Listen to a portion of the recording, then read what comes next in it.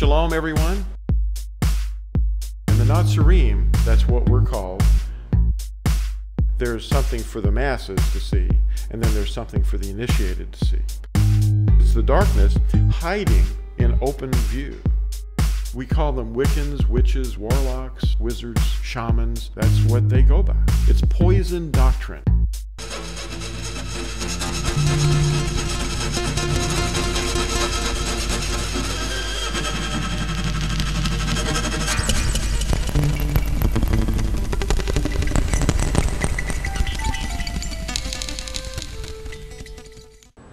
Hello, my name is Lew White, and I'm glad you're here. And I'm, for those that are watching, I've got a screen up here to help with the text. Sorry about all the noise. Anyway, I've, we've installed a light here so you can see me a little bit better. From the previous ones, we couldn't see me. I was just this dark, shadowy figure. anyway, uh, welcome and thank you for coming. Some of you came from a long way and for a very short little seminar. But the study today is what is the gospel? Now, we're going to look at the word gospel, find out what it means. But I want to mention this. I was uh, awakened in the middle of the night last night to kind of add this addendum or whatever, or preface, and that is this. Uh, over the period of time that we men have been on the earth, men and women, we've got um, basically a two dimensional view of things. And um, like the Greeks and the Romans believed that the uh, earth was flat. They really believed it. But the Israelites, the tribes of Israel, knew that wasn't true. And they navigated the oceans. They sailed on the roads of the oceans, the channels, the currents. And they went far and wide. They had colonies all over in the United States, before the United States was here, the North America, South America. The word Brazil is Hebrew. It means iron. That's where they mined iron. And they mined copper up in Michigan. And they found, we found a, a stone knife under, under, some mounds in Tennessee that has for Yehuda written on it. Um, they didn't even know what it was. They just saw this writing. They didn't know the Native Americans could read and write. And they, they apparently could because they were the, the tribes of Israel. Well, those peoples, um, they knew, th these Israelites knew that the earth was round. Well, in, in the same kind of way, uh, Herodotus, which is the father of modern history, lived in the 5th century BCE. And he believed that the earth was flat. As smart as he was, he believed the earth was flat because that's what his culture taught him. And this wise man mentioned these peoples called the Phoenicians. Now, Phoenician is Phoenike in Greek, and it means date palm. And he gets this word that he just invented, and he calls these peoples that are suddenly uh, discovered all over the earth uh, Phoenicians, which is a Greek term. They didn't call themselves Phoenicians, but we know that they were Israelites. But mo modern historians still don't know who they are. They just say they have this strange alphabet. And the Israelites stole this alphabet from them. Well, it's because they were the Israelites. You see? These kinds of obvious things and these connections are going to be made today in other ways re relative to what the message of the kingdom of Yahuwah is. Because we've been looking at this thing for 2,000 years, this message, in the wrong way. Because we've been keeping it a two dimensional object, like a flat earth. There's three dimensions. There's another dimension to some of the words. The word belief or trust is actually from a Hebrew word, imuna, which actually is what we're supposed to be living by. The prophet Habakkuk said that we would live by our emuna, which is steadfastness and fidelity and faithfulness. It isn't, now the word faith that we've been translated in, in, when we read our, our translations, we see the word faith, that we're justified by faith. The Hebrew word faith is imuna, and it actually is the key to understanding this third dimension. Because we're not just believing something like the Greeks believed, it was a thought process. But the Hebrew mindset of belief is believe and obey. That's why the the brother, the half brother of Yahusha, Jacob or James, had to go into great detail to show that faith without works is dead. Because people were thinking all you had to do was believe something in your mind. But you have to obey, which perfects it. You know, now that's the key to this whole thing. Because uh, that's why we had the pastoral advisory there. Now, uh, we're announcing actually the coming society that's going to be ruled by the creator of the universe, and we want to know what we want to put on this billboard. What is the real gospel? Because we've been living by a two dimensional gospel for 2,000 years. So it is the message or report, which is in the Hebrew, it actually means fresh. That's what the literal word means. And it's the word basar, which, or basora, and that Hebrew word means fresh or a refreshing. And it is about the reign of Yahuwah and his covenant. And it's going to be real bad news for those who have rejected the covenant. Because, you know, the fear of Yahuwah, or the, the, the, actually, Yahuwah is with those who fear him. And he reveals his covenant to them. If you fear him, he will, he will reveal his covenant to them. Now, that's the ten words, or the Asarath Hadabarim, the Ten Commandments. That covenant is a covenant of love. It's how you love Him and love your neighbor. So it's about love. It's not about hate, it's about love. Now, the terminology that we're going to use today, some of you may not be familiar with the intricacies of it. We've got a traditional term over here and an authentic Hebrew term over here. The term L O R D is inaccurate because it's not in the scriptures it's a replacement word for the name written in Hebrew, Yod He Ua He, Yahuwah. So wherever the text translates, we're going to use his actual name. And that is uh, to a lot of the ancient Yahudim that came out of Babylon, that is a blasphemy to say it aloud. But that's just a man-made thing, you know. He wants his name proclaimed. Now, this term J-E-S-U-S in Hebrew is Jesus, which would mean the horse. That's not what we're going to use. That's something very recent. That's uh, not even 500 years old. Isu is, a, is one of the terms that they use in the Greek, but uh, his real name in the Hebrew is Yod He Ua Shin Ayin, which is Yahusha. Very similar spelling to the name of the creator of the universe and it means Yah is our deliverer. We're going to avoid the word Christos and Christian and the word cretin. If you look up the word cretin on your, in your own time, just look it up. It comes from the word Christianos. It just went through another path. We're going to use the Hebrew word Mashiach, and we can probably use the word Messiah. That's actually slightly corrupted by the Greek because they don't have the SH sound. But Mashiach is the original term, and it means anointed one. And we're going to avoid this word God because that's actually uh, not a good thing. It's a, we're going to look at that. I've got a, a whole frame that explains the encyclopedic source of the word God. It's a pagan uh, term for the, for the sun. We're going to use the term El or Elohim. Uh, Jews is really the tribe Yehuda. It's one tribe, and that's the royal tribe. That's where all the kings of Israel come from. The firstborn tribe would be another tribe. Reuben was originally the firstborn tribe, but the blessing went on Ephraim. Now, the term Yahudim means worshippers or praisers of Yah.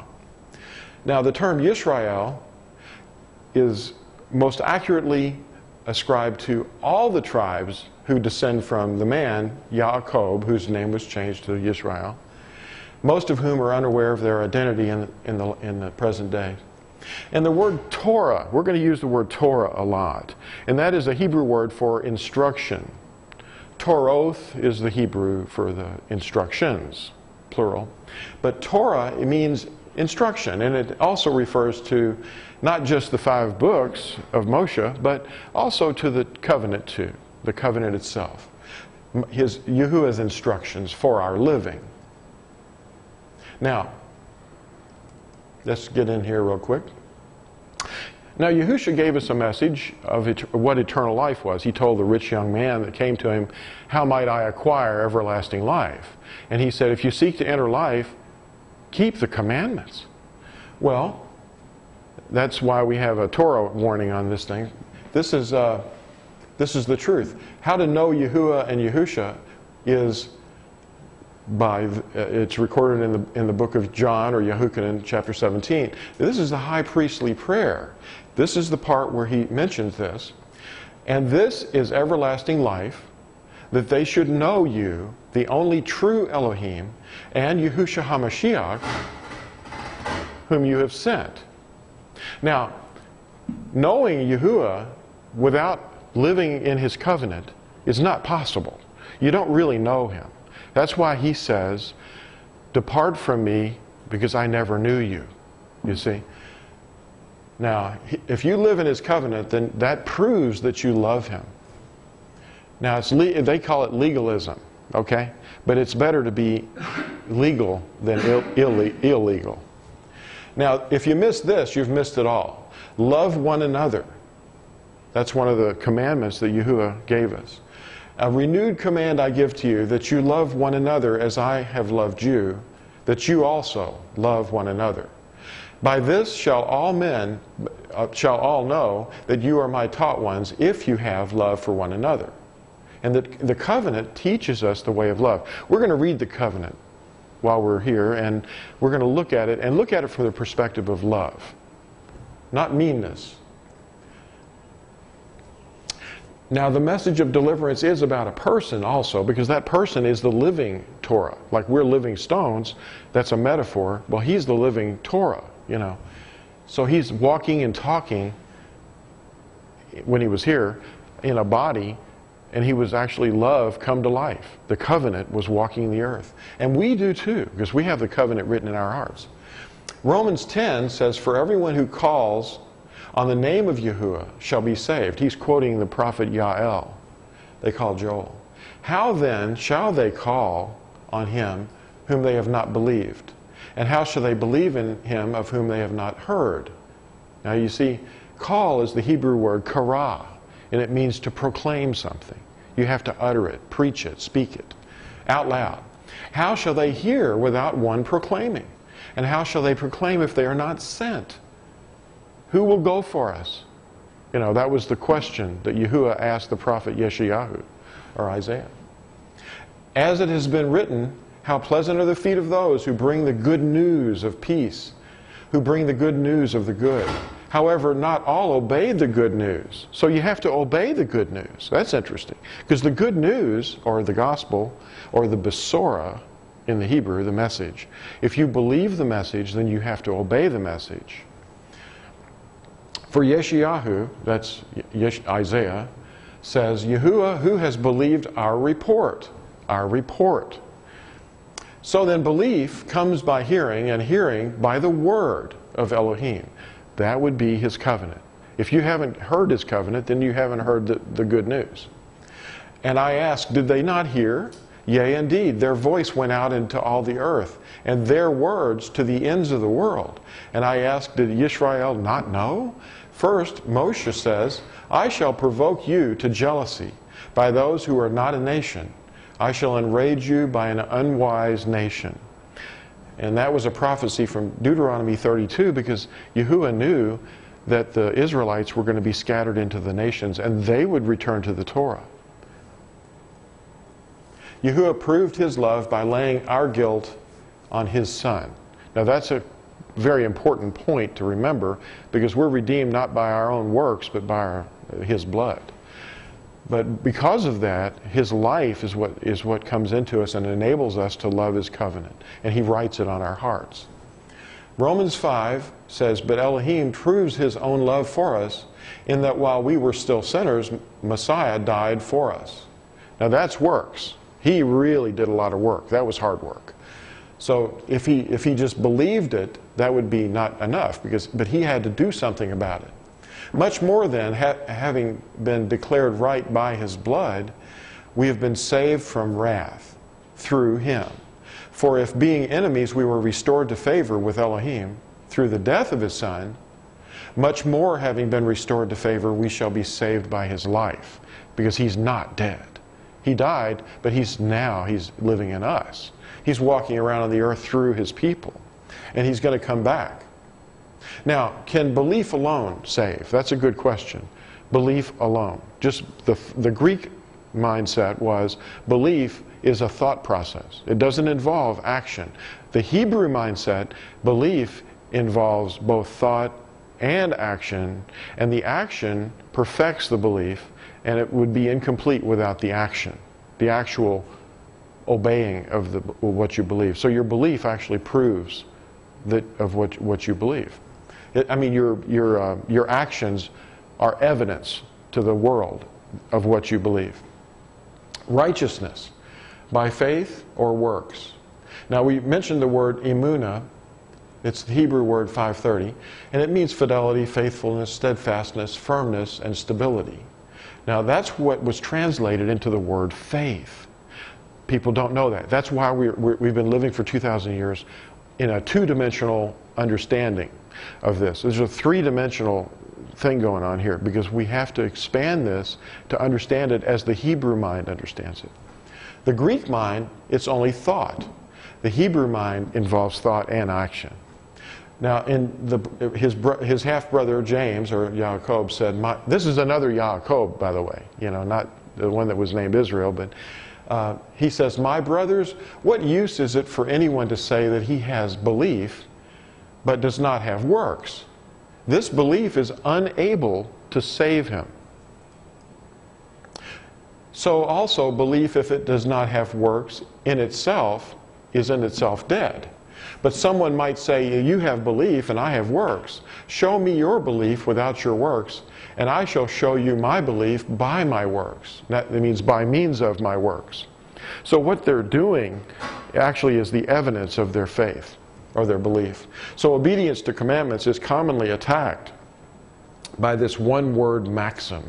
A maxim is a, is a word or a phrase that is said over and over and over again to program you. It could be for good or bad, but in this case, it's not good because the word legalism has a bad connotation now. But actually, being legal is excellent, you know, because you don't want to be accused of being illegal, you know.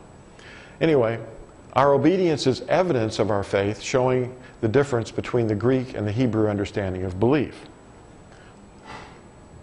Now, faith and works actually work together, and James or Yaakov is going to illustrate that from how that worked out with Abraham. But you, but do you wish to know, O foolish man, that the belief without the works is dead? Was not Abraham our father declared right by works when he offered Yishak his son on the, on the altar? Do you see that the belief was working with his, work, his works? And by the works, the belief was perfected. And the scripture was fulfilled, which says, Abraham believed Elohim, and it was reckoned to him for righteousness. Now, when a Greek mind reads that, they only see thought processes. But what that text really means to the Hebrew reader is that this is actually both things. It's both. So get out of the two dimensional world and stop being a flat earther and uh, be, be amazed at the fact that there's three dimensions. You, I mean, you can get out into the, the spherical realm here. Um, so you, you see the word believed, and it was reckoned to him for righteousness. It includes the works. As he was called Elohim's friend. You see then that a man is declared right by works and not by belief alone. And so the word believed in the Hebrew mind includes obedience, not simply thought. And the obedience proves our love. In Exodus or Shemoth 20, it says, But showing kindness to thousands, to those who love me and guard my commands. Now, that, those two go hand in hand. If you don't love him, you're not going to guard his commandments. That word guard means shamar, and it means, it's the Hebrew word shamar, and it means to watch over very carefully, you know. Now, in First Yehukanan, or First John 3, Yahusha himself was talking to Nicodemus, remember? And he says, and whatever we ask, we receive. No, this isn't. He wasn't talking to Nicodemus. I was, I'm sorry, I was in another place there. This is where our disciple, whom Yahusha loved, was saying this Whatever we ask, we receive from him because we guard his commands. That's what, what it says. We guard his commands and do what is pleasing in his sight. And this is his command that we should believe in the name of his Son, Yahushua Messiah, and love one another as he gave us command. And the one guarding his commands stays in him, and he in him. And by this we know that he stays in us, by the Spirit which he gave us. And Yahushua said in Yehukanan 14, or John 14, If you love me, you shall guard my commands. He's not speaking anything differently. He's on the topic. He never left it. The same thing that said in the Tanakh. And I shall ask the Father, and he shall give you another helper to stay with you forever, the Spirit of the truth, whom the world is unable to receive because it does not see him or know him. But you know him, for he stays with you and shall be in you. He stays with you means that he's right here with you now because he's the one doing the talking.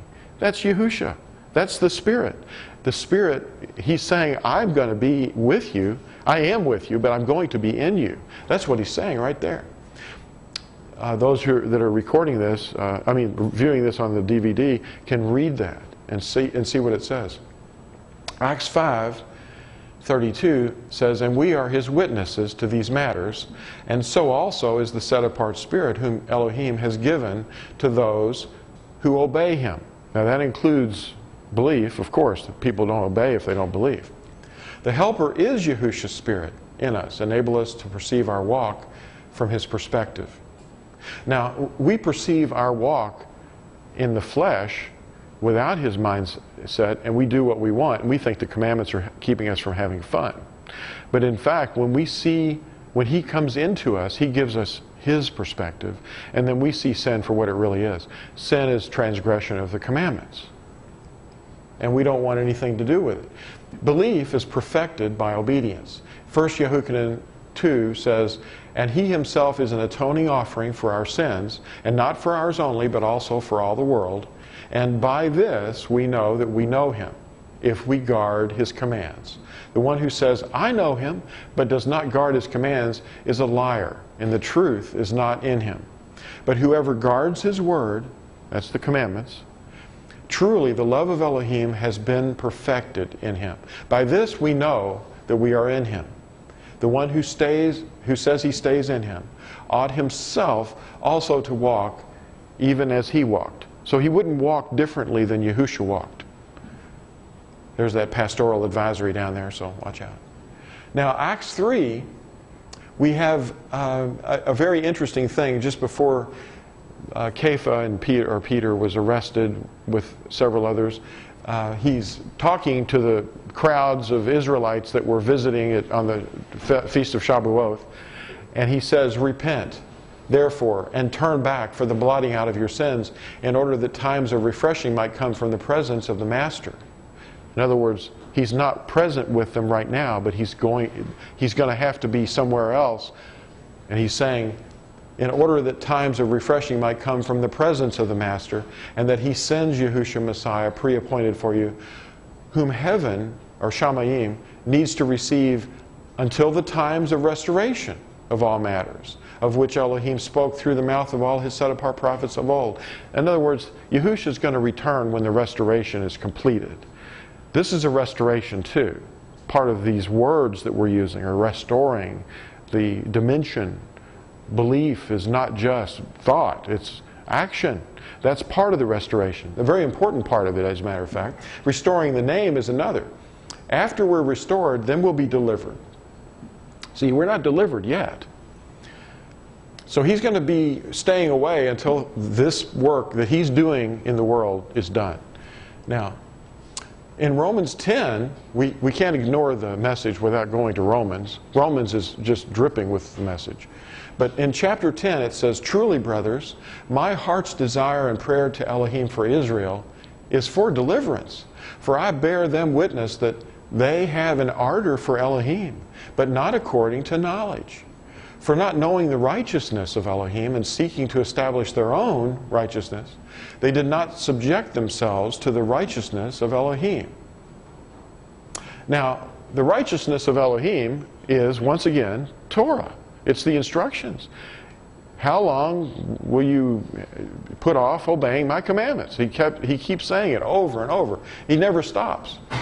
Deliverance will result for those living according to the righteousness of Elohim. But what is the righteousness of Elohim? Well, let's look at it. Now, restoring the lost tribes of Israel to their Hebraic roots is essential. You've got to understand what the Hebrew words are to really understand the content. Are you pursuing righteousness? Now, if we shine the light of Yahuwah's word on, on everything that's taught and test every teaching to be certain that we're in the pattern of living, the living way, the living words are the covenant. See, Stephen was basically stoned for that. You know, when, when he looked up and he, he was in front of the Sanhedrin, and Stephen in Acts chapter 7, and he said, uh, he was explaining to the leaders of Israel, the elders of Israel, about the living words that were given to them at Sinai. They're living words. That's the living water. That's the water that if a man drinks of it, he'll never thirst. Okay? Is the gospel Torah? Is that possible? Is the message, the Basora, is, the, is, is it Torah? Is the Torah righteousness? Yes, it is. Well, can we be saved by belief in Mashiach and not obey the Torah? Can we have a religion, which is a, a man made thing? Uh, can we have a religion about the Messiah that doesn't involve the Torah?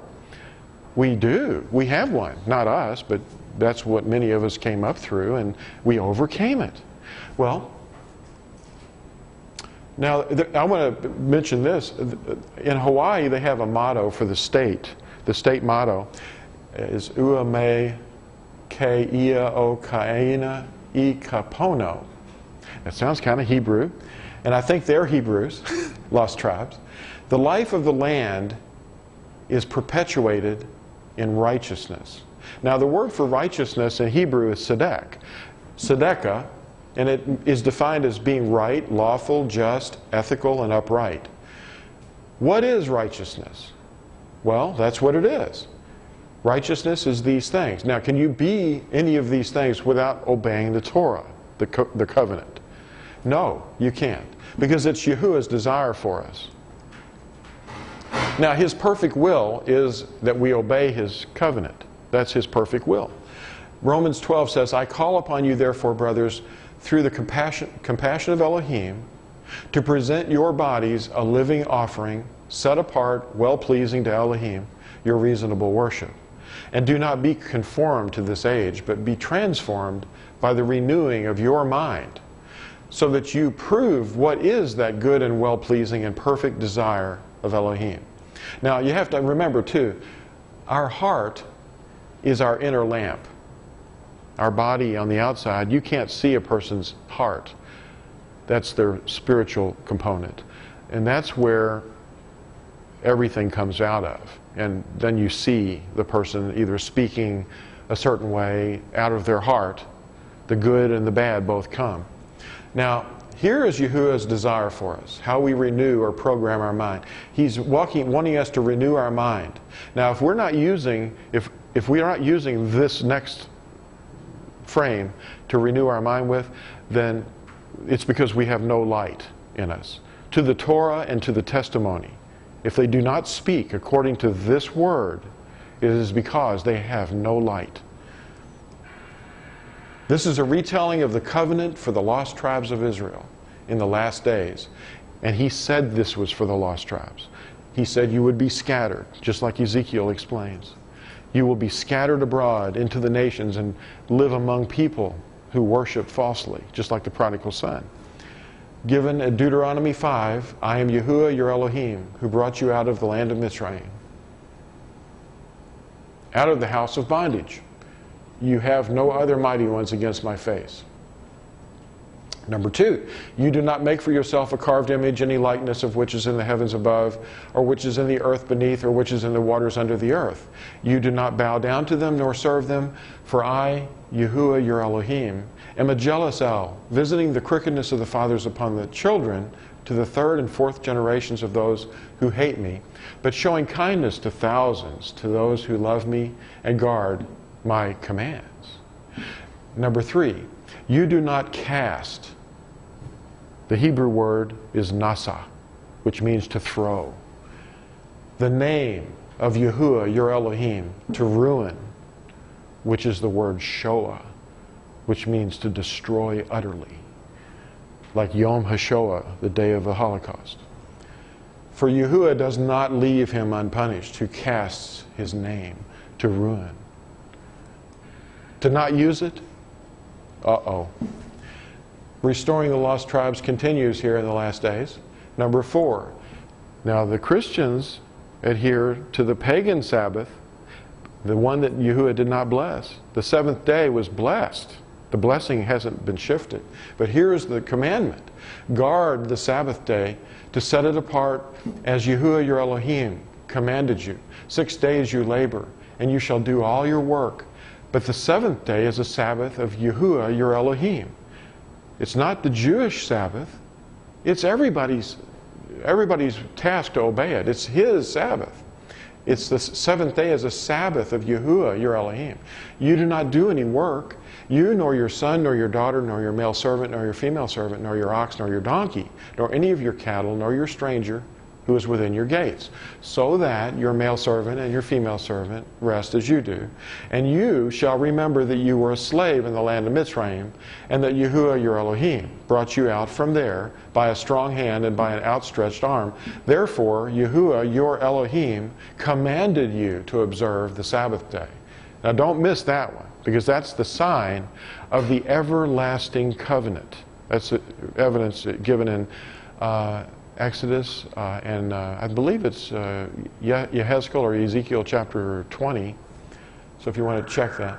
Now, number five is respect your father and your mother as Yahuwah your Elohim has commanded you, so that your days are prolonged, and so that it is well with you on the soil which Yahuwah your Elohim is giving you. Number six, you do not murder. Number seven, you do not break wedlock. Now, these commandments, in some cases, are just two words. You know, um, number eight, you do not steal. Number nine, you do not bear false witness against your neighbor. And number 10, you do not covet your neighbor's wife, nor do you desire your neighbor's house, his field, nor his male servant, nor his female servant, his ox, nor his donkey, or whatever belongs to your neighbor. Now, the Catholics, uh, they switched this, they did away with the second commandment about bowing to idols, and they made the tenth one into two so that they'd re remain, have ten. Hear, O Yisrael. Now we haven't broken stride here. This is just continuing straight through. Yahuwah, our Elohim, Yahuwah is one, and you shall love Yahuwah, your Elohim, with all your heart, with all your being, and with all your might. How do you love him? Well, his, he said, Obey my commandments. And these words, he just finished speaking, or, you know, reciting, through which uh, no, these words which I am commanding you today shall be in your heart. They're to be in your heart. You shall impress them upon your children, and shall speak of them when you sit in your house, and when you walk by the way, and when you lie down, and when you rise up, and shall bind them as a sign on your hand. And they shall be as frontlets between your eyes. As frontlets. And you shall write them on the doorpost of your house and on your gates. That's Deuteronomy 6. See, we just we've been going through Deuteronomy 4, Deuteronomy 5, Deuteronomy 6 without a break. This is for the last days. Break loose, annul, dissolve, destroy. Now, this is part of the word problem that we have in understanding the Hebrew understandings. In Matthew 5, Yahusha illustrates something about breaking or annulling something. Whoever then breaks one, just one, of, these, of the least of these commands and teaches men so shall be called least in the reign of the heavens. But whoever does and teaches them, he shall be called great in the reign of the heavens. For I say to you that unless your righteousness exceeds that of the scribes and the Pharisees, you shall by no means enter into the reign of the heavens. Now, the word uh, break, okay, is the word, um, let's see, it's uh, lui, or no, luo, luo in the Greek. But the, the idea of breaking is from the binding and the loosing of something. If you uh, bind something in, in, in a commandment way, it means that the Torah forbids it. It's forbidden. So if somebody says, Is it okay to do this? If you go to a person that's a teacher that knows Torah and he says, uh, no, you can't do that. That's against Torah. Then he's bounded.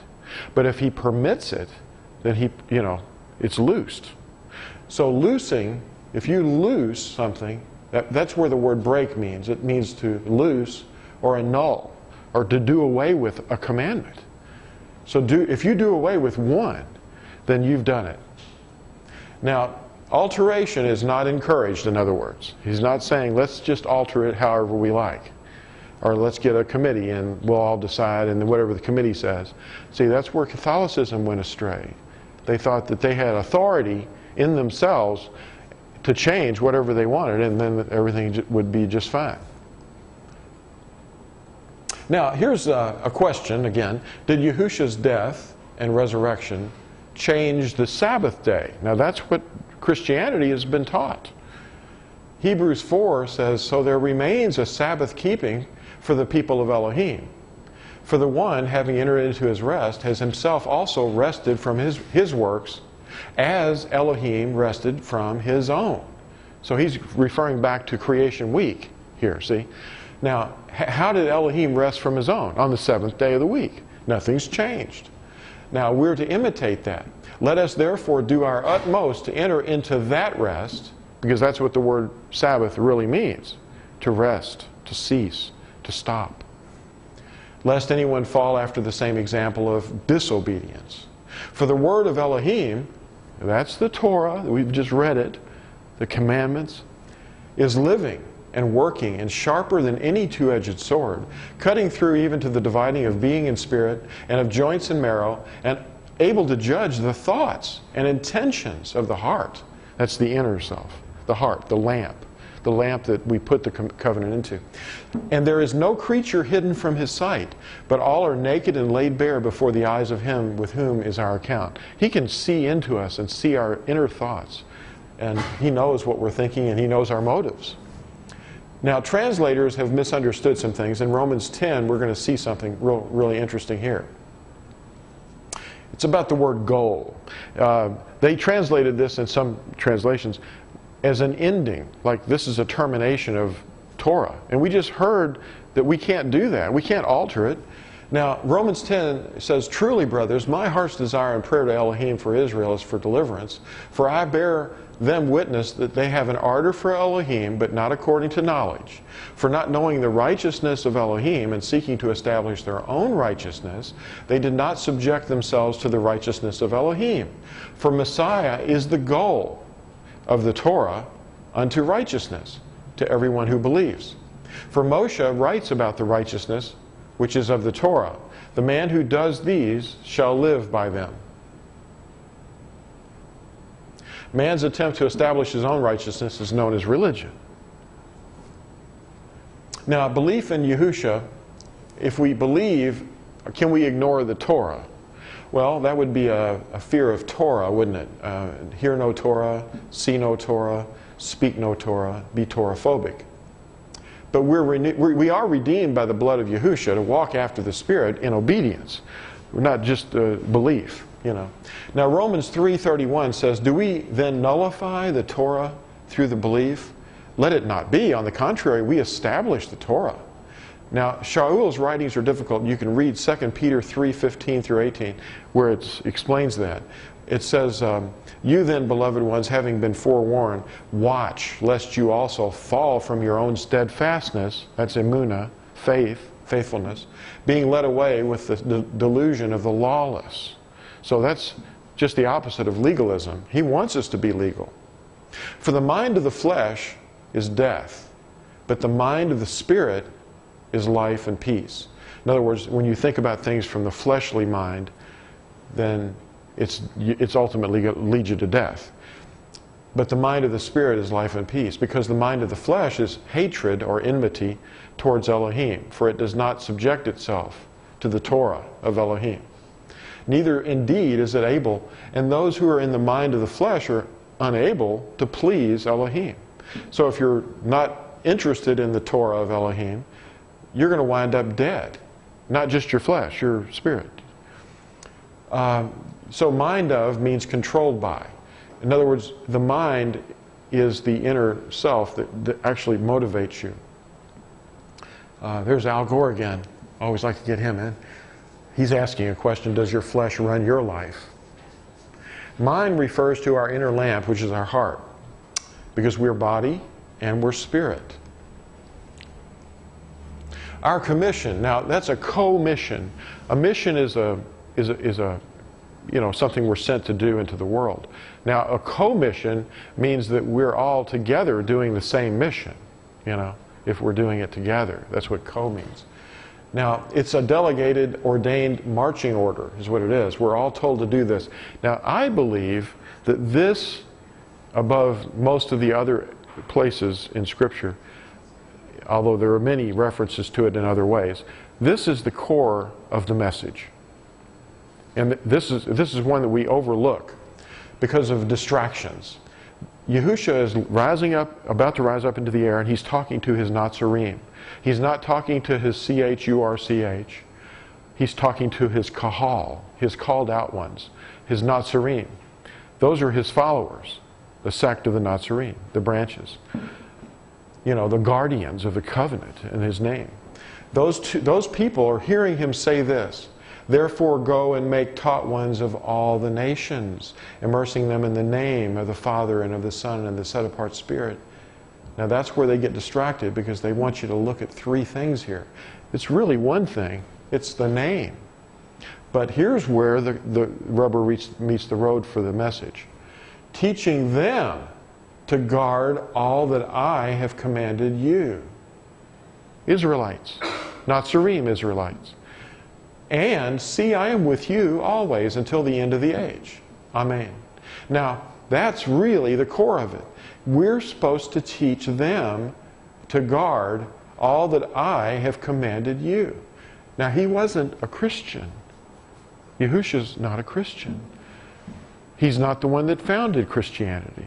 That was founded by the Catechetical School of Alexandria, basically in the year 190, with the CHURCH fathers, Pantaenus, Clement, Origen, Epiphanius, all those guys over three or four centuries.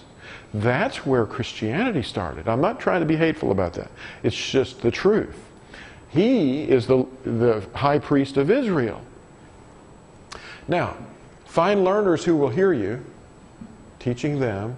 You got to you got to go somewhere to teach these people. So you're supposed to find the, learner, the learners and teach them the name and teach them the Torah of Yahuwah. Okay, that's not complicated. But people have missed it because they've just been so, you know, two-dimensional that they haven't been able to figure out that, hey, the word believe means to obey. So we're not teaching anybody to obey. We're going to teach them not to. that's just wrong. Was that Columbo in that picture? Everybody see Columbo? Anyway, the Nazarene guard his word and his name. That's what, we're, that's what we guard. The word Nazarene means branches, branches as an offspring of his teachings. And we are also guardians. That's what the word means also. Guardians are watchers, watchmen. Now, the, the guardians are guarding his name and his covenant. And, oh, we've been hated by the CHURCH fathers. The, uh, the, the Catechetical School of Alexandria is on record saying that we don't uh, accept them because they don't accept us either, but not because of that, but because we live as the Yahudim live. We, we eat kosher, we keep the commandments, we rest on the seventh day Sabbath. We don't have anything to do with the fathers, you know, the CHURCH fathers. Uh, they actually recorded that. And, and they know that we were called Nazarene all the way back into the second century, that's where the record goes, that the Nazarene, who were the descendants of the teachings of Yahusha, that they hated and they called us heretics because we keep the commandments and we don't subject ourselves to their authority and their teachings. Now, in Psalm 138 2, it says, I bow myself toward your set apart Hekel, that's temple, and give thanks to your name for your kindness and for your truth for you have made great your word, your name above all. So the covenant is, is his word that he's made with us. There's only one covenant. That's the relationship. It's a, it's a love relationship. It's actually a marriage. And we are guardians of the name and we're guardians of the word, which is the Torah. Now, here's an announcement that Yahusha made when he first started in his work. It's recorded at Luke 4, and he's quoting a prophet, Yeshayahu, they call Isaiah in 61, and he came to Nazareth where he had been brought up. And according to his practice, he went into the congregation, that's the group meeting on the Sabbath, and stood up to read. And the scroll of the prophet Yeshayahu was handed to him.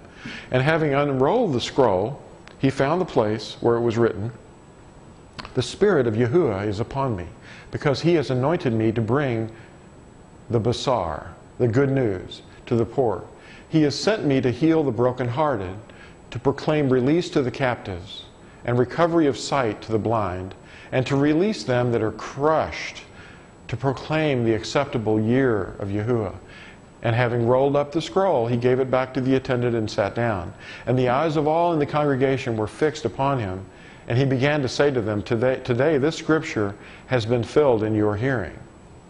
Now, that word he used there was, of course, basar, and it was, you know, besorah, the message.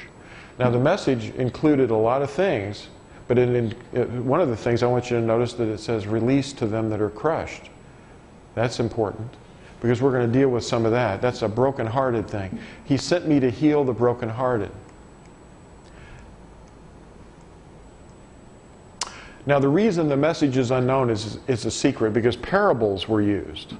Okay? It's a secret. It's not open for everybody to understand. You have to have His Spirit to even understand it. Now, Matthew 13 34 and 35 says, Yahusha said all this to the crowds in parables, and he did not speak to them without a parable, so that what was spoken by the prophet might be filled, saying, I shall open my mouth in parables. I shall pour forth what has been hidden from the foundation of the world. And the parable still concealed the message from those that were not given their secret meaning. So there is a secret. And, this, and part of the secret is, you know, it, it is the covenant the covenant itself. That's what re was rejected by the Catechetical School of Alexandria. When you, when you hear about the School of Alexandria, you hear about a lot of allegorizing and spiritualizing and all that stuff, you know. And he doesn't really want you to literally obey. He just wants you to believe because they're Greeks. You know, I know they were in Egypt, but they were Greeks, you know. The Greek Empire. Now, it says here, this is one of my favorite scriptures of, I don't know how many I have, but this is a really good one. Psalm 25:14, the secret of Yahuwah is with those who fear him, and he makes his covenant known to them. Huh? He must, this man here in this picture is reading a piece of paper and he's forcing his eyes open. Remember the Sabbath to keep it set apart. He must force his eyes to open to something he was blinded from from ever seeing before. But this man has discovered one of the clues to solving the secret message the fact that he'd been taught lies. Now, Yeshayahu 61 also continues, and it says, For as the earth brings forth its bud, as the garden causes the seed to shoot up, so the Master Yahuwah causes righteousness and praise to shoot up before all the nations. The seed is the Torah. That's what it is. The covenant is the seed that produces the fruit. And here's the, some fruit love, joy, peace, patience, kindness, goodness, gentleness, faithfulness, self control. A little bit different from the Inquisition, you know? It's a little bit different. Galatians 5:22 is where that's recorded. It's, it's called the fruits of the Spirit. Now in Galatians 5 it says you were running well. Who held you back from obeying the truth? Because the truth is another code word for the Torah the covenant. Now, there is a message. In Mark 16 it says, And he said to them, Go into all the world and proclaim the message, the good news, to every creature. He who has believed and has been immersed shall be saved, but he who has not believed shall be condemned. Now, believed includes the word, uh, the idea of obedience. Just to believe is not enough. It is a message to be believed and obeyed. So we have to love one another, and the only way we can love one another is if we're in the covenant, because we can't have fellowship without the covenant with Him or uh, uh, one another. Uh, used the word besorah in the, in the prophet Yeshayahu 61, not the word gospel, because that word we're going to look at in just a moment. He wasn't speaking Greek or Japanese or any of those things. Um, here is one of the things that he said.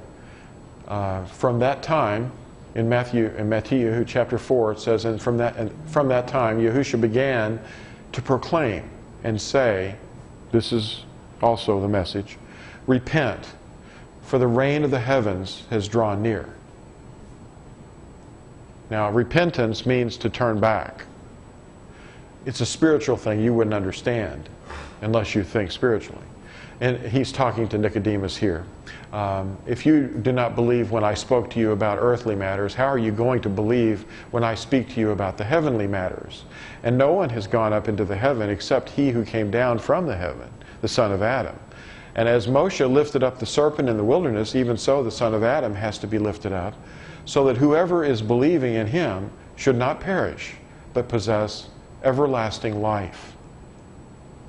For Elohim so loved the world that he gave his only brought forth Son, so that everyone who believes in him should not perish, but possess everlasting life. For Elohim did not send his Son into the world to judge the world, but that the world through him might be saved. He sent his Son into the world to atone.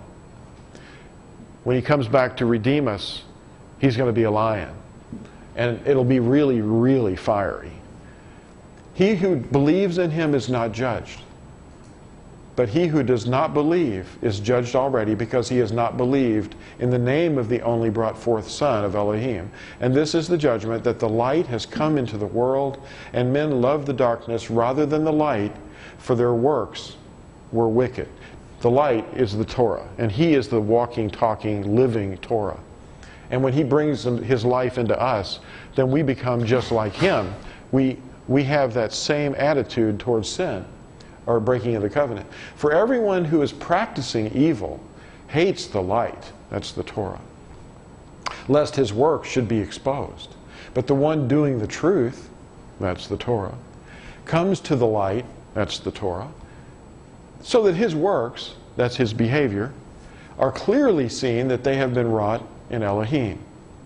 The word of Yahuwah is the covenant.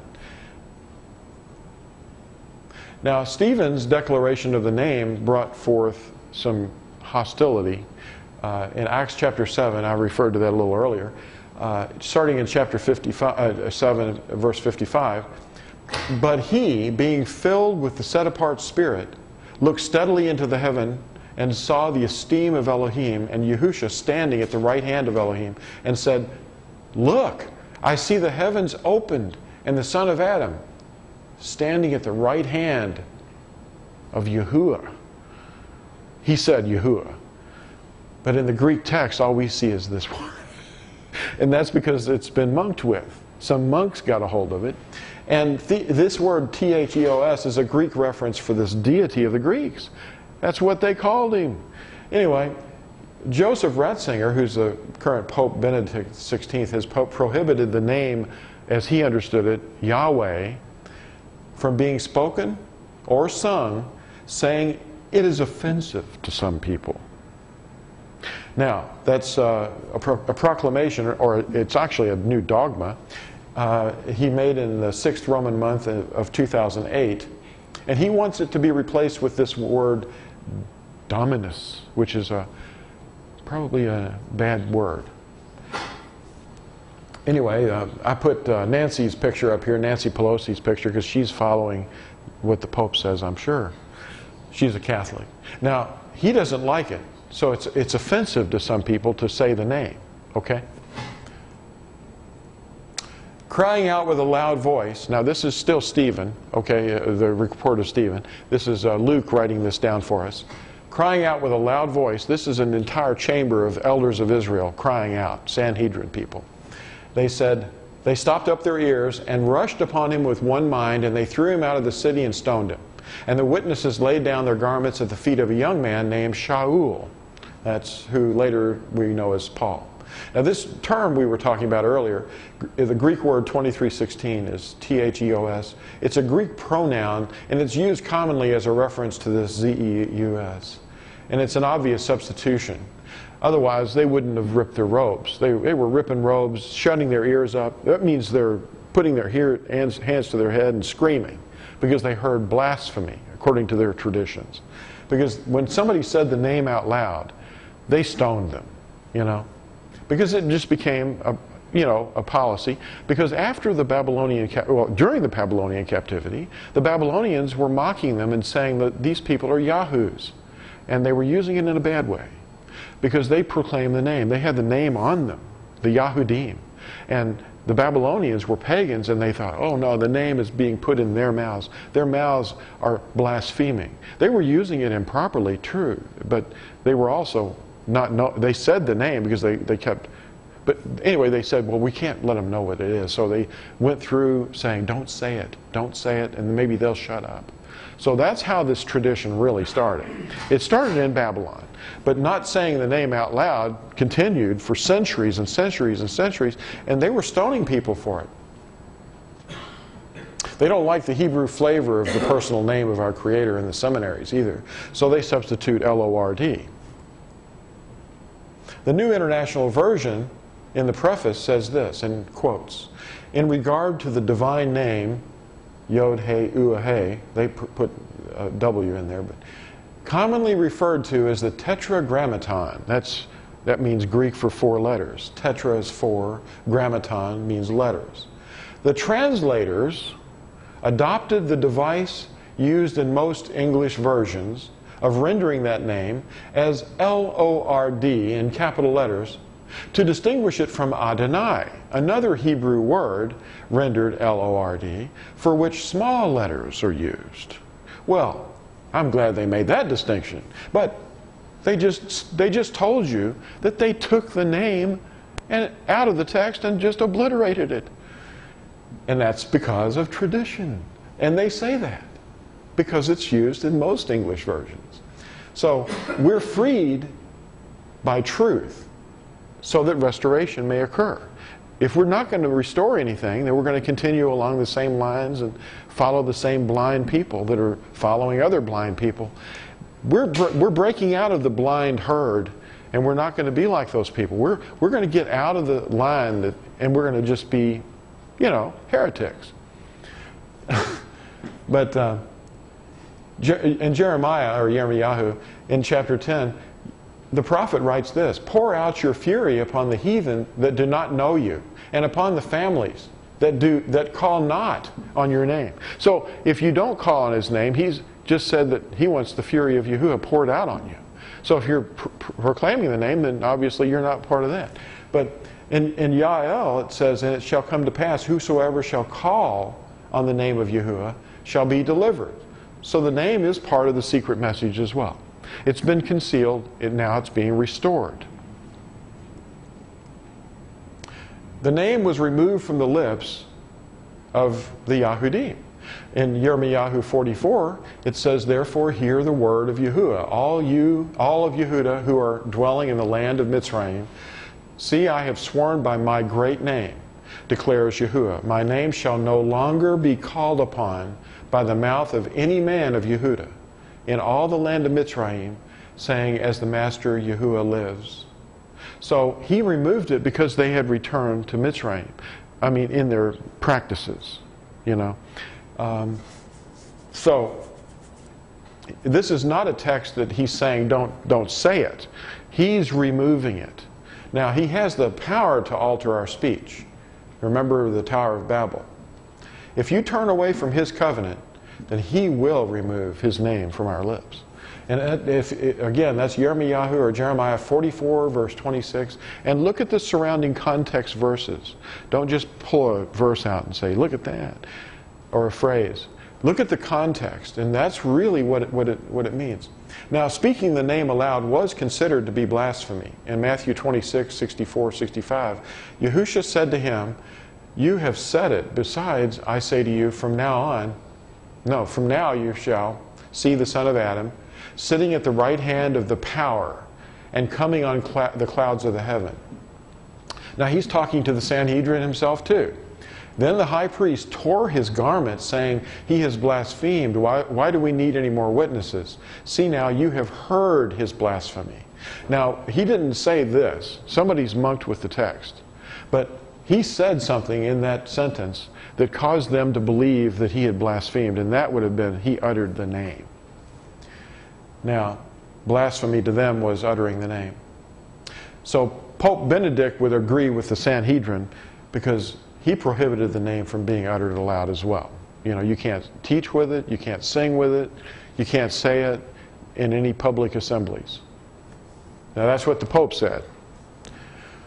The authorities arrested the Nazarene everywhere due to their speaking of the name. Shaul explains this in Acts 26. And punishing them often in every synagogue, I compelled them to blaspheme. And being, in other words, he was compelling them to blaspheme by trickery, you know, making them, hey, what, what's going on? You know, you're Nazarene, aren't you? Yeah, well, you know, all the Nazarene were in the synagogues, you know. That's where they were. And being exceedingly enraged against them, I persecuted them even to foreign cities. It must be called upon. In truth, it's blasphemy to eliminate the name. Acts 4:12 says, "And there is no deliverance in anyone else, for there is no other name given under heaven among men by which we need to be saved." Now, these terms are not terms or names of deliverance. J E S U S, L O R D, G O D, Adonai. These are not words that the prophet Yael said we have to call upon. It's, we have to call upon the name of Yahuwah, and all those that do will be delivered.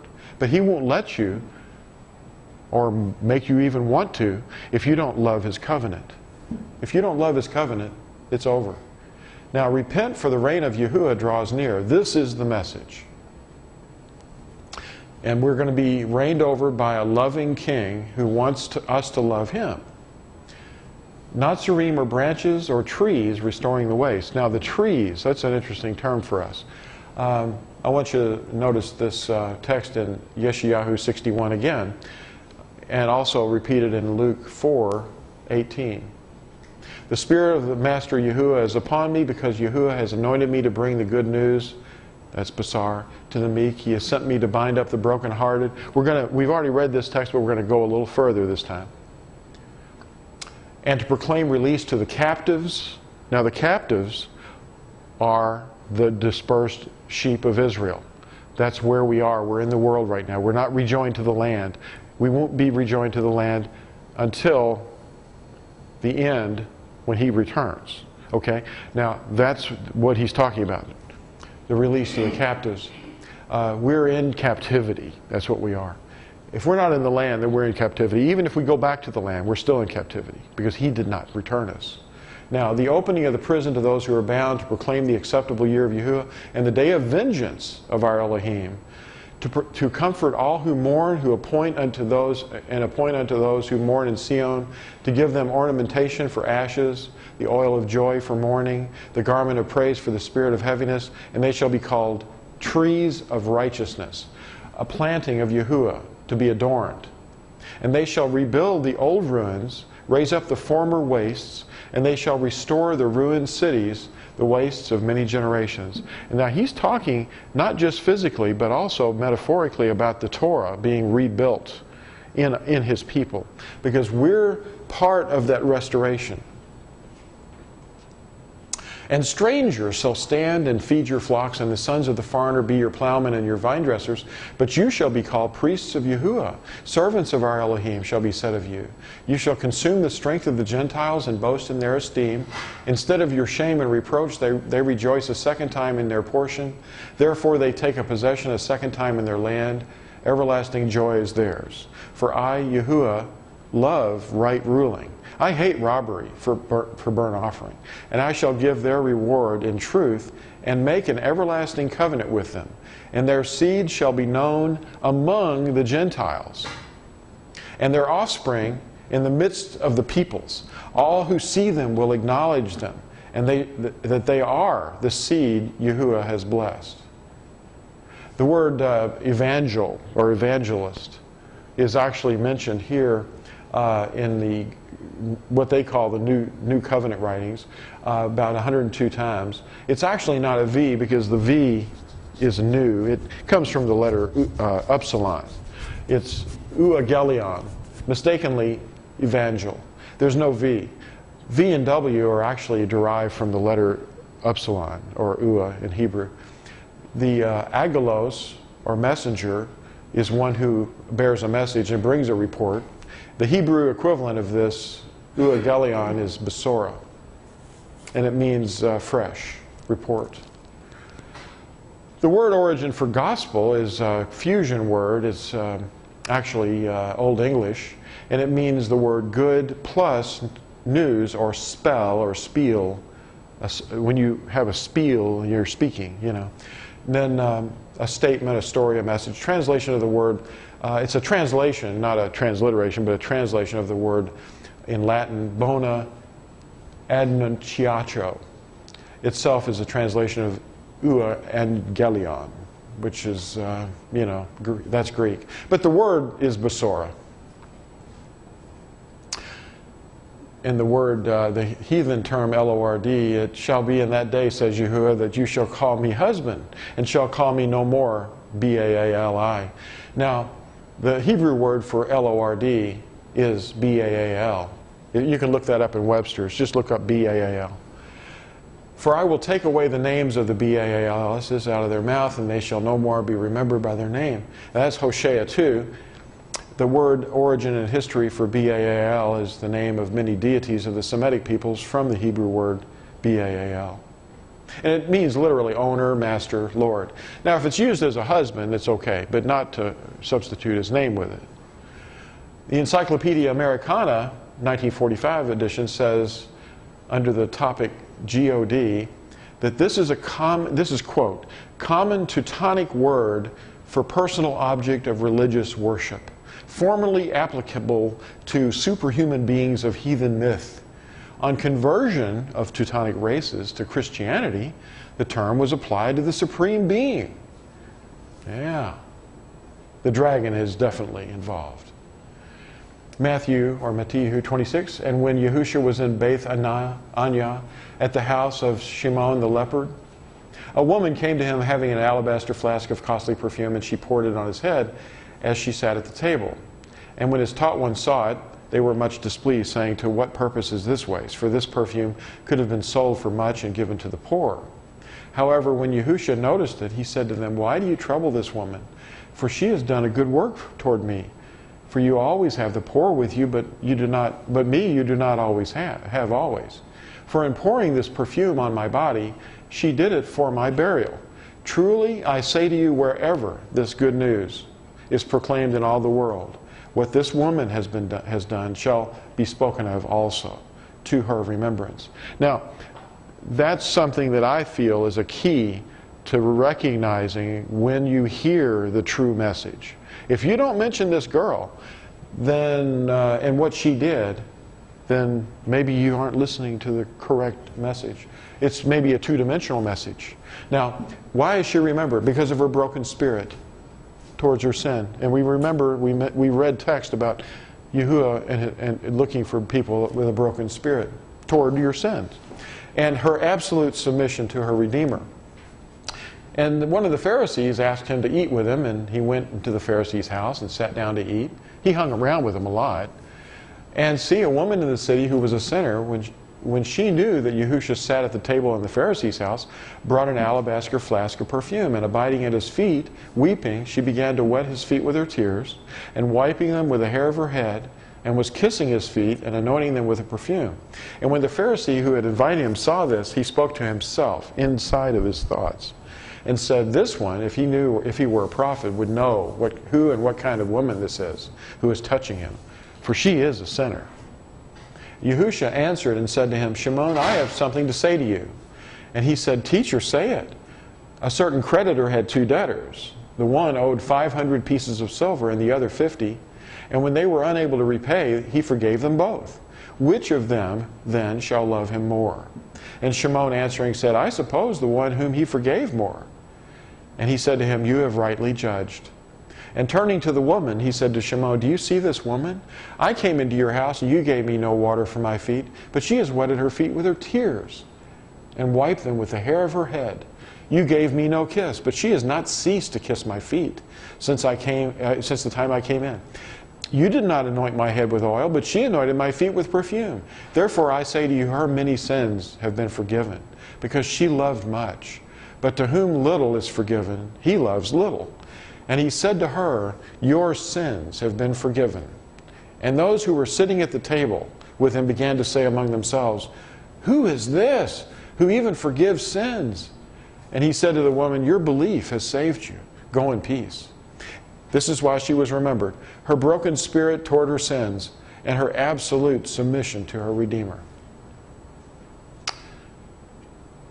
Um, now, Yahuwah's face either turns towards us or against us. In Psalm 34, the face of Yahuwah is against evildoers to cut off their remembrance from the earth. The righteous cried out, and Yahuwah heard and delivered them out of all their distresses. And Yahuwah is near to the brokenhearted and saves those whose spirit is crushed. Now, here's some texts that declare the Besorah. Matthew, or Matthew 44, uh, 23. And Yahushua went about all Galilee, teaching in their synagogues, and proclaiming the Besorah of the reign, and healing every disease and every bodily weakness among the people. And Matthew 24 says, in verse 14, And this Besorah of the reign shall be proclaimed in all the world as a witness to the nation, nations, and then the end shall come. So when the message gets really widespread, the true message, not the two dimensional message, you know, about just believe, but believe and obey, that's the message. And make disciples, go and teach them everything that I commanded you to obey. That's, uh, that's a sure sign that we're getting close in Mark 1, and after Yahuchanan was delivered up, Yahusha came to Galilee proclaiming the Besorah of the reign of Elohim and saying, The time has been filled and the reign of Elohim has come near. Repent and believe the Besorah. And the Besorah has to be proclaimed first to all the nations, and then the end will come. But Romans 1 starts off in verse 16 and says, For I am not ashamed of the good news of the Messiah, for it is the power of Elohim for deliverance to everyone who believes, to the Yehudi first, and also to the Greek. For in it the righteousness of Elohim is revealed. Without the Torah, you will never know the righteousness of Elohim. From belief to belief, as it has been written, but the righteous shall live by belief. That's Habakkuk chapter 2.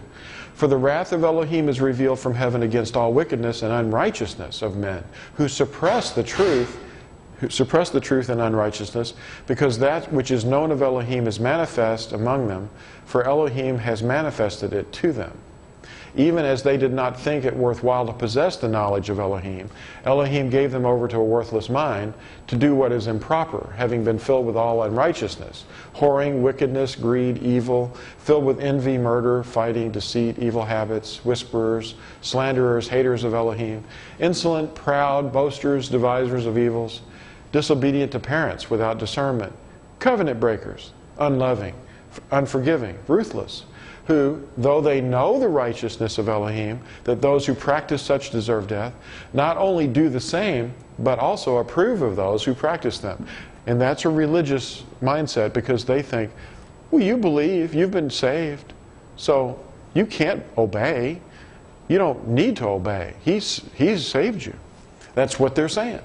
The evidence of the true message is being proclaimed, is being cited right here in Matthew 26. Truly I say to you, wherever this good news is proclaimed in all the world, what this woman has done shall be spoken of also, to her remembrance. So, what specifically is the message that is to be believed, which is to be obeyed too? It's for the bride, that's Israel. Israel is the bride that he married at Sinai. Now, those who are perishing will not receive a love for the truth, therefore, they are sent a strong delusion to believe the lie. The truth is the word of Yahuwah, his covenant with his wife. The living water that the Messiah shares with his wife Israel is his covenant. It comes alive in us. Now, in Second Thessalonians, it said that falsehood is believed by those who are perishing. The coming of the lawless one, the one without the Torah, is according to the working of Satan, with all power and signs and wonders of falsehood, and with all deceit of unrighteousness in those perishing, because they did not receive a love for the truth, that's the Torah, in order for them to be saved. For this reason, Elohim sends them a working of delusion, a religious delusion, for them to believe the falsehood, in order that all should be judged who did not believe the truth, but have delighted in the unrighteousness. But we ought to give thanks to Elohim always for you, brothers, beloved by the Master, because Elohim from the beginning chose you to be saved, in set apartness of spirit and belief in the truth, to which he called you by our good news, for the obtaining of the esteem of our Master Yahushua Messiah. So then, brothers, stand fast and hold fast to the traditions which you were taught, whether by word or by our letter. So, what is truth? Well, his word is truth. John 17, in the priest, high priestly prayer, he said, Set them apart in your truth. Your word is truth. And Psalm 119 says, Your righteousness is righteousness forever, and your Torah is truth. That's verse 142. And it says, if you, if you read uh, Torah, uh, Psalm 119, it says uh, it's forever. You are near, O Yahuwah, and all your commands are truth. That's verse 151. So if you receive a love for the truth, then you must have received the covenant. Now, we talked a little bit about the uh, Catechetical School of Alexandria and how they took another, another path. So for almost 2,000 years, or well, 1,800 years, we've been listening to a two-dimensional message. In Romans 16, it says, Now I call upon you, brothers, watch out for those who cause divisions and stumbling, contrary to the teaching, that's the Torah, which you have learned, and turn away from them. He's talking to Nazarene, obviously. False shepherds have taught division, separating the C-H-U-R-C-C-H from Israel. Actually, they claim the term Israel for themselves. It's replacement theology. There is one body, and Gentiles must engraft into it. Okay? and become part of the Commonwealth of Israel. If you read, uh, you know, basically Ephesians 2, verses 8 through 13, and Acts 3 and Acts 15. In uh, Yirmiyahu 50, uh, there's only one body, and, and this is a fulfillment prophecy of uh, in the days in those days and at that time it's in the last days declares Yahuwah, the children of Yisrael, that's the lost tribes, shall come, they and the children of Yehuda together. See, right now they're kind of at odds with one another, but they're going to come together, weeping as they come, and seek Yahuwah their Elohim. And they shall ask the way to Sion, their faces toward it. Come and let us join ourselves to Yahuwah in an everlasting covenant, never to be forgotten. Not their covenant, but his. My people have been wandering sheep for literally 2,700 years. Their shepherds have led them astray, turning them away on the mountains. The mountains are the nations. And they have gone from mountain to hill. They have forgotten their resting place. Our commission is to carry the message to the nations. And Yahusha came up and spoke to them, saying, All authority has been given to me in heaven and on earth. Therefore, go and make taught ones of all the nations, immersing them in the name of the Father and the Son and the set apart Spirit, teaching them to guard all that I have commanded you. And see, I am with you always until the end of the age. Amen. Amen is a, a Hebrew term that actually is just three letters, it, Amen, and it means absolutely, you know, affirmation. It's a, it's a word of affirmation. The bride is Israel, not this uh, C-H-U-R-C-H. That's derived from a pagan term, pagan deity. The bride at the end of the age is regathered, literally seized at his coming, probably while the, the moon is turned to blood and the sun is darkened. Deuteronomy 30 is a prophecy about the end days, and it shall be when all these words come upon you, the blessing and the curse which I have set before you, and you shall bring them back to your heart among all the Gentiles where Yahuwah your Elohim drives you, and you shall turn back to Yahuwah your Elohim and obey his voice, according to all that I command you today, with all your heart and with all your being, you and your children. Then Yahuwah your Elohim shall turn back your captivity, and shall have compassion on you, and he shall turn back and gather you from all the peoples where Yahuwah your Elohim has, has scattered you. And if any of you are driven to the farthest parts under the heavens, from there Yahuwah your Elohim does gather you. And from there he does take you. So the shepherds will feed the scattered people of Israel in the last days. Yirmiyahu 3 says, And I shall give you shepherds according to my heart, and they shall feed you with knowledge and understanding. And uh, Yahusha told Peter, or Kepha, in Yahuchanan 21, to feed my sheep. For those who will not listen and obey, here's what we hear. Deuteronomy 30, 18 says, I have declared to you today that you shall certainly perish. You shall not prolong your days in the land which you are passing over the Jordan to enter and possess. I have called the heavens and the earth as witnesses today against you. I have set before you life, that's Torah, and death, the blessing and the curse. Therefore you shall choose life, so that you live, both you and your seed, to love Yahuwah your Elohim, to obey his voice, and to cling to him for he is your life and the length of your days, to dwell in the land which Yahuwah swore to your fathers, to Abraham, to Yishak, and to Jacob to give them. And Matthew 19, uh, this is a record of a man who came up to Yahusha and said, uh, Good teacher, what shall I do to have everlasting life? And he said, Why do you call me good? No one is good except one, Elohim. But if you wish to enter into life, guard the commandments. Now that's not, uh, I should have put a warning on that page, uh, you know, but we had one at the beginning. Now the, the Torah is light. Therefore, Yahusha, in, in John chapter 8, it says, Therefore Yahusha spoke to them again, saying, I am the light of the world. He who follows me, that's does what I do, shall by no means walk in darkness, but possess the light of life. And Proverbs 6:20 says, "My son, watch over your father's command, and do not forsake the Torah of your mother. Bind them on your heart always. Tie them around your neck. When you are walking about, it leads you. When you lie down, it guards you. And when you have woken up, it talks to you. For the command is a lamp, and the Torah a light, a light, and reproofs of discipline a way of life." That's Psalm 18, uh, 119, 105. Uh, this, is the, this is Psalm 119, 105. Your word is a lamp to my feet and a light to my path. We know the Torah is a light. We know the commandment is a lamp. And if you believe in the light, you're okay, but if you don't, you're, you're going to perish. John 3 says, again, we, we read all this. Now, this is, this is what we already covered when he was speaking to Nicodemus. Now, we're cleansed by obeying the truth. This is really interesting. Uh, it pops out at you. See, the message is all through Scripture.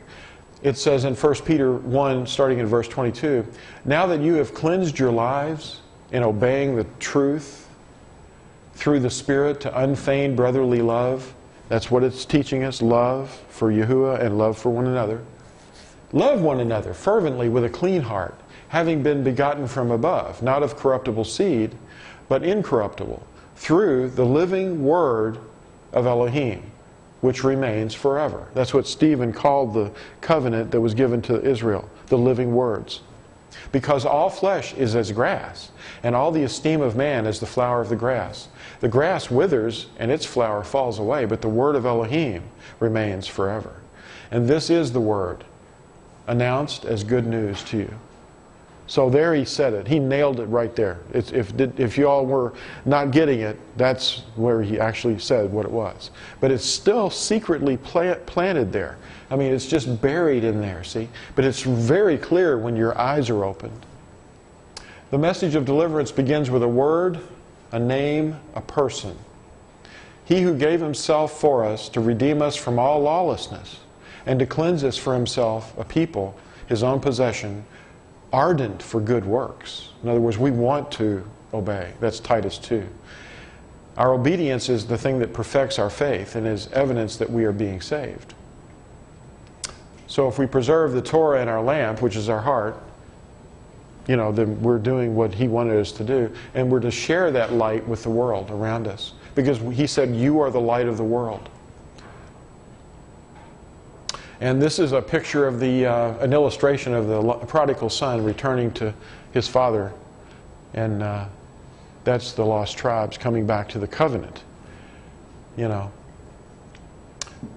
So uh, it took me an hour and a half to get through. There were about 80 slides there.